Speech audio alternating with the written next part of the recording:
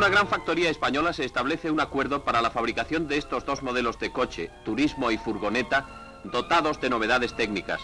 La nueva empresa nace al impulso de la industria norteamericana del automóvil, que invertirá mil millones de pesetas, lo cual representa la mayor aportación del capital privado de Estados Unidos hecha hasta ahora en nuestro país. La inversión extranjera cubre solamente el 35% y el 65% restante será aportado por la firma española que constituye la nueva industria. La factoría Barreiros de Madrid recibe la visita del ministro portugués de Economía, señor Teixeira Pinto, a quien acompaña el ministro español de Industria, señor López Bravo. El vasto complejo industrial ocupa una considerable extensión en el término de Villaverde. Hay que hacer el recorrido en coche para poder visitar las amplias instalaciones.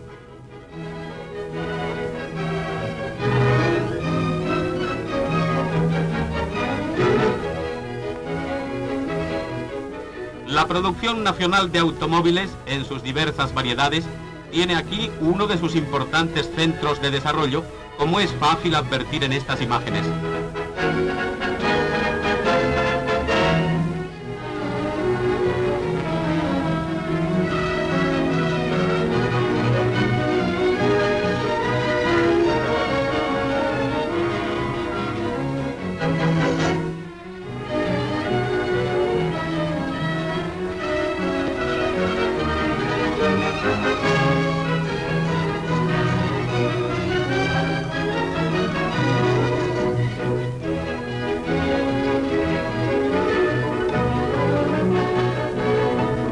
Ministros escuchan las explicaciones de don Eduardo Barreiros, presidente de la entidad.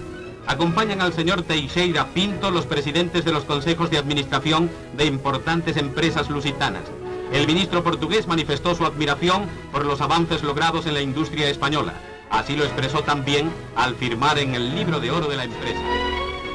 Cerca del millar de comensales se reúnen en el banquete de homenaje a don Eduardo Barreiros. Asisten los ministros señores Solís y Fraga Iribarne. El señor Barreiros recibe de manos del presidente de Radio España la medalla de oro Quien cantó las 40. El señor García Viñolas, en nombre de la comisión organizadora, hace el ofrecimiento del homenaje al señor Barreiros, designado en los Estados Unidos uno de los seis hombres de negocios más importantes de Europa. El presidente del Centro Gallego de Madrid y el alcalde de Orense son portadores de los tributos de admiración y simpatía que millares de paisanos suyos dedican al hombre que dirige una industria donde trabajan 17.000 personas. El ministro de Información y Turismo lo dice así en su discurso, en el cual resalta la importancia que tiene la iniciativa privada para llevar al país a metas más ambiciosas.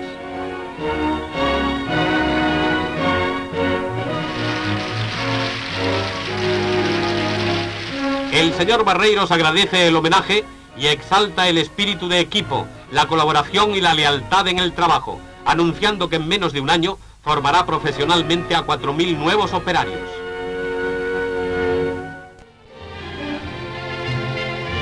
Personalidades de la industria norteamericana del automóvil y el Pleno del Consejo de Administración de la Factoría Barreiros cumplimentan al jefe del Estado que llega para inaugurar la nueva planta de producción automovilista.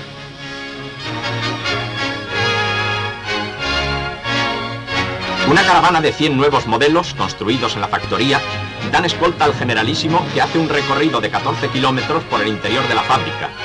Esta ocupa una extensión de medio millón de metros cuadrados y comenzó sus actividades en 1951. Hoy cuenta con 25.000 productores y acaba de lanzar la primera serie de dos nuevos modelos europeo y norteamericano. Acompañan al generalísimo el ministro de Industria y el presidente de la empresa, don Eduardo Barreiros.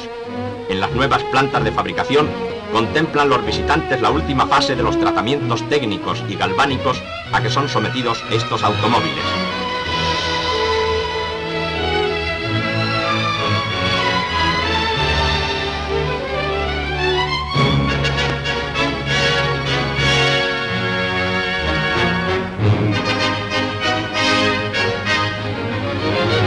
La factoría produce al año 16.500 motores, 10.000 camiones, 4.600 tractores, 890 autobuses y 360 transportadores.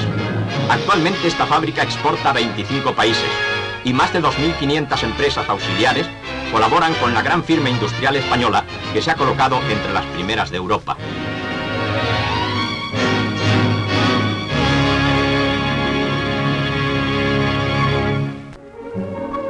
Esta no es una exposición de arte de las muchas que se celebran al año. Tiene una particularidad que la distingue de las demás. Se trata de la primera exposición de pintura y escultura en la que se dan a conocer las obras realizadas por productores de la empresa Barreiros.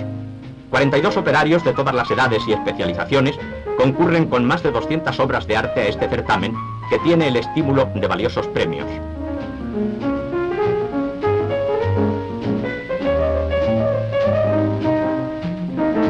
Pasamos a la nave de la factoría para interrogar en su trabajo a alguno de los expositores.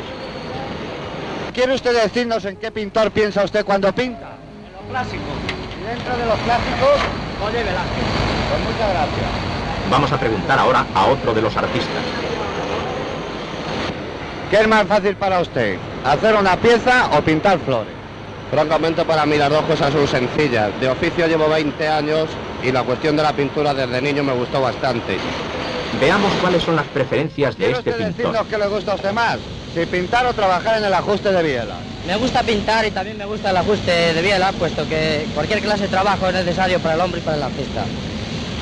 Y yo doy las gracias a- al nodo por esta gentileza que ha tenido para los trabajadores de Barreiros de venir a hacerles un reportaje.